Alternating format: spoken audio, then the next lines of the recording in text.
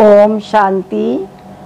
कई लोग कहते थे, दादी, आप इतनी बड़ी सत्ता संभालती हो। आपको चिंता नहीं होती है? आपको कोई फ़िक्र नहीं होती, टेंशन नहीं होता? दादी कहती, काहे का टेंशन? किस बात का टेंशन? क्योंकि बाबा ने मुझे निमित्त बनाया है। दादी को सदा रहता था, मैं तो निमित्त मात्र हूँ। करण करावन हार तो शिव बाबा है, जिसका यज्ञ है। वो करा रहा हम कर रहे हैं। मेरा इसमें क्या जाता जो मैं चिंता करूँ? उसकी सेवा है, उसके बच्चे हैं, उसका काम है, वो आप ठीक करेगा, सब सही रहेगा। मुझे तो निमित्त बन के करना है। दादी में निमित्तपन बहुत था। दादी के अंदर सरलता बहुत थी, बहुत सरल। एक बार अपने उपराष्ट्रपति आए हुए थे माउंट आबू में किसी कॉन्फ्रेंस में। वो मेरे को गले में पहना था रुद्राक्ष की माला। मेरे को उतार के दिया, उनको जाना था, हाथ मुँह धोना था फ्रेश होना था। बोले, इसको पहन के मैं नहीं करता हूँ। जब निकल के आए तो बोले, आपके यहाँ एक आश्चर्य देखता हूँ।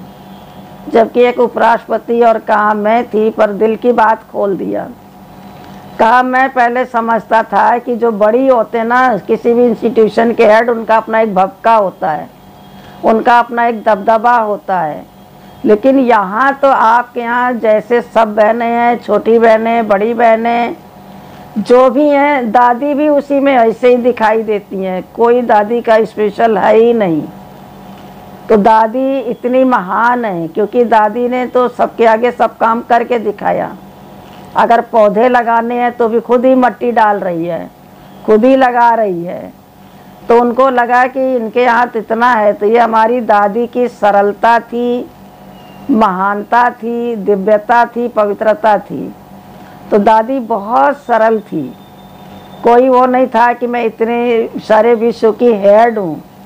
कभी दादी के अंदर हेड पने का संस्कार आया ही नहीं कि मैं दिखाऊँ, रोब लगाऊँ।